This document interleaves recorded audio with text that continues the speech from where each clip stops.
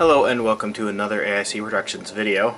Today I'm going to do just a super quick video on my uh, Lenovo 25th anniversary ThinkPad, but this applies to a lot of ThinkPads. Everything from uh, my X250, my wife's X250, X220, T430, a lot of different models of ThinkPads have this feature, is what we'll call it, it's currently plugged in. If I unplug it,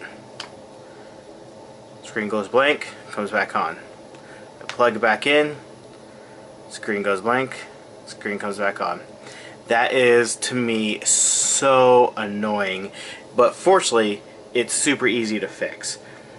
What it is, it's a power setting for the Intel internal graphics to save power when you're on battery it really doesn't save hardly any power. It changes your refresh rate from uh, 60 hertz to 48 hertz and you can easily fix that. So let's go ahead. I'm going to right click on the desktop.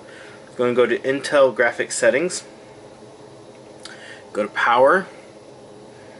Global settings it says display refresh rate switching. I'm just going to click disable and apply. I'm going to keep the settings Okay, so now I'm going to unplug my laptop.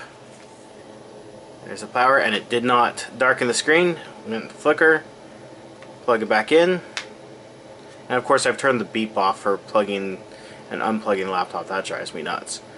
So I can unplug again, plug it back in, and there we go. No more uh, screen flickering. So simple fix. Uh, I highly recommend doing it if that screen blinking out on you for a few seconds annoys you like it did me. Anyways, thank you for watching. I hope you have an amazing day.